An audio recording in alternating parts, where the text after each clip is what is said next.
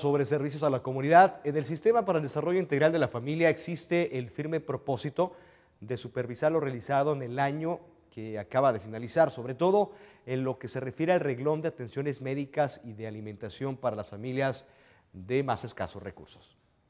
Un continuo eh, con mi personal aquí, las personas que atienden en asistencia social, en la Procuraduría de la Defensa del Menor,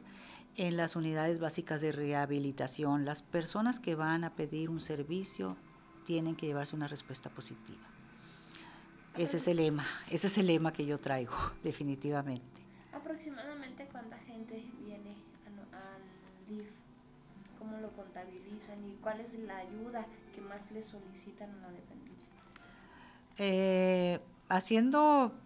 un resumen de lo del ejercicio pasado, eh, todos los días mm, la mayoría de las personas que asisten aquí es para solicitar ayuda por salud o por alimentación. Esos son los, esos son los, los temas más, más recurrentes, ¿no? Em,